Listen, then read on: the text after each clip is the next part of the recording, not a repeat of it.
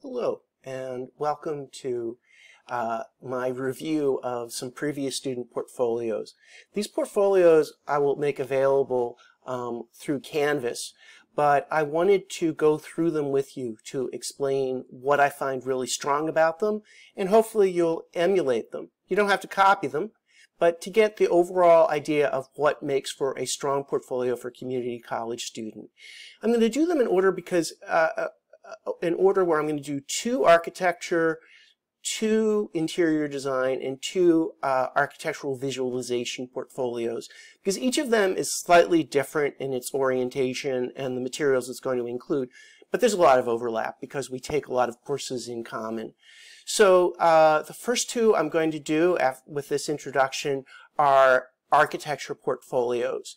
And then I will uh, do a second video on interior design and then another one on architectural visualization.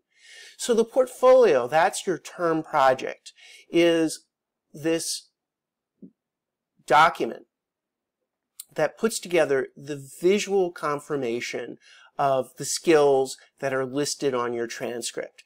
And also work beyond that. We'll see in these portfolios we've included sketches and photography or other interests that give uh, an overall uh, impression of the student. It's a little bit like a visual autobiography. Um, so let's get started. Um,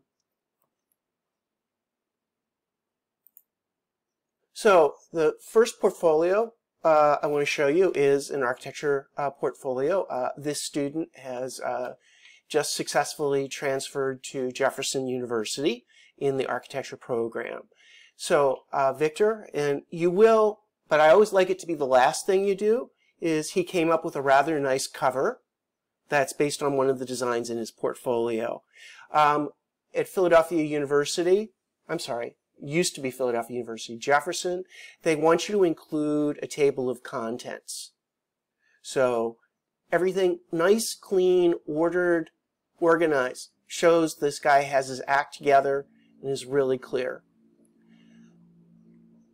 So the first uh, that we show are line drawings that were part of Art 105, which show, you know, meticulousness of craft, an ability to draw and render and to work in perspective.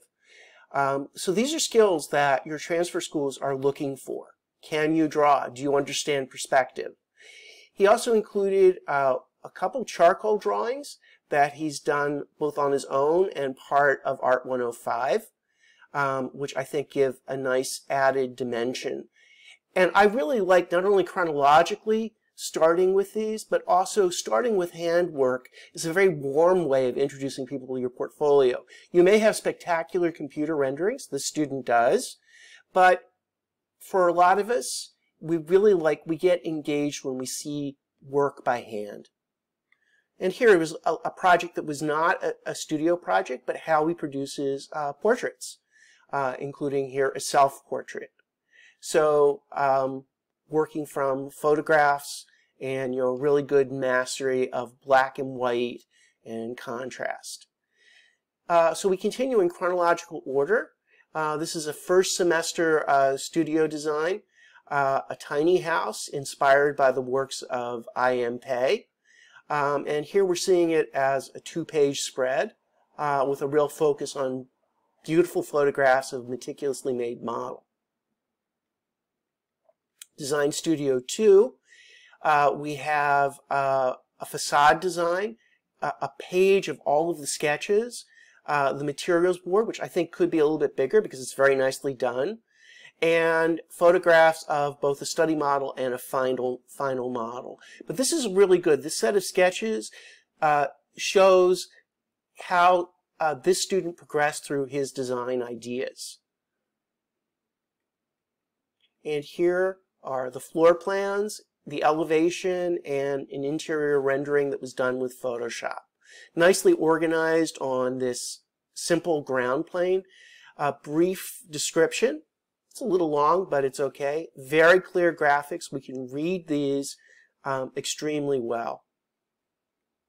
So uh, he also includes, uh, from presentation techniques, I really want you all to include this is whether it's the coffee house or the pavilion building, your hand rendering. These look super good in a portfolio and show a craft and a mastery that translates really well into uh, digital media.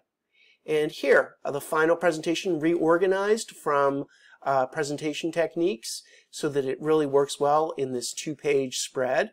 Uh, nice harmony of colors, you know, very elegant, um, very clearly presented. I think the photograph of the model could have been a little bigger, but that's small, a small difference. Here, we get to Studio 3. We have an analysis of, uh, nicely done, of a house by Frank Lloyd Wright and looking at geometry and uh, parti and how light comes into the space. From that, there was the inspiration to designing a light fixture with a nice large dramatic photograph over here, and then a series of process drawings and diagrams over here, including the inspiration uh, from Frank Lloyd Wright that he got this particular design from. So a good, one big, clear, dramatically lit photograph. That's what we want to look at. A nice hierarchy. We go to this image when we look at this spread. And then we are, if we're interested, we look at these other images and how they come together. And here, uh, although he added additional work, is a, a really nice, a little dense uh, portfolio page for uh, an artist loft. That was part of Design Studio 3, uh, where he's really interested in the geometry of the hexagon. So it includes images of the model, meticulously made, good drawings, sketches, um, and then some computer renderings, in this case, taking a SketchUp model and rendering it with Lumion. So nice alignments. One page isn't necessarily the same as the other, but super clear as far as um, you know its organization. So you see how nicely everything is organized in rows and columns. And that just gives a very neat overall impression of uh, your work and that you really care and that there's a meticulousness. It isn't thrown together. So, Victor, um, pit pull up, Raymond Chen. So, Raymond also actually uh, has transferred to uh, Jefferson, um, and he's uh, doing well there uh, he basically on the strengths of his portfolio. His portfolio runs a little short, but includes enough information that we get a really good sense of uh, the student. Portfolio, the front page, which is what students like to design first, is the thing you go to last. If, at best, what I, I like you to do is a series of thumbnails of, of projects that you're going to see in once you get inside um, a teaser of, you know, once you open it, what this is like. So his first page includes personal work, um, paintings, photography, and a lot of work in black and white, which in this case is very arresting. Uh, poor Mr. Uh, Chen lost a lot of his digital work, but was still able to pull together um, a very attractive uh, and compelling portfolio. So personal work he does with watercolors um, and sketching. And um, I, I find, again, you want to start with this kind of work. Nice, clear drawings that understand perspective and vision that are very, you know, clearly uh, presented. And because the drawings are really good, we went to an additional page.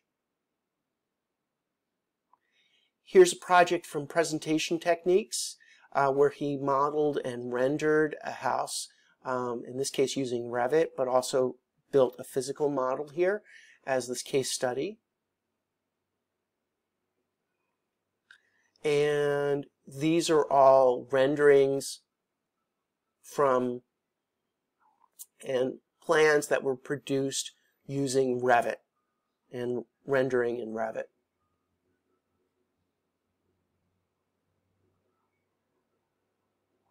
nice set of hand drawings here Um, and for uh, looking at the pavilion building, which show a, a nice kind of very quick direct approach to applying marker.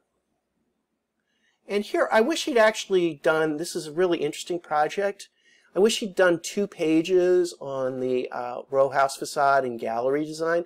Uh, this is a little dull. This is just a really quick couple day project, but, you know, it's still, it's, it's, it's good.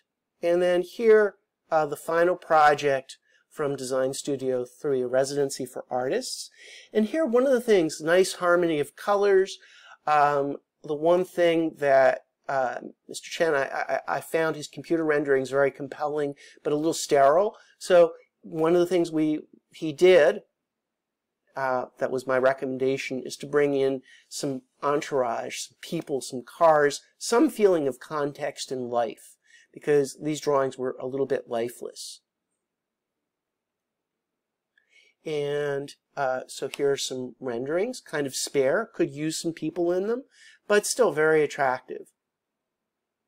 Uh, a quick project at the beginning, a group project in Stu Studio 4, a solar filter that was done as part of a group. Um, the sketches could be a little more refined, but the photographs look good. And this, the uh, place for um, a particular, you know, design in the particular spirit of an architect. Um, in this case, you could rename it. Um, the um, but this is the um, Soul Making Chamber project.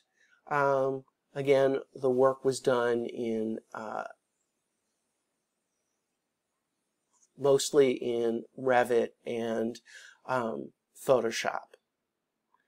So uh, these are a, a, couple of the stronger portfolios. I may add a few more.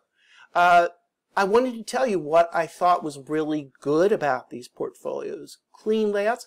Necessarily didn't stay to the same layout in every page, but um, a, you know, very, uh, we, we really see the work. We see it very clearly. We see a nice design development. We see a lot of different skills.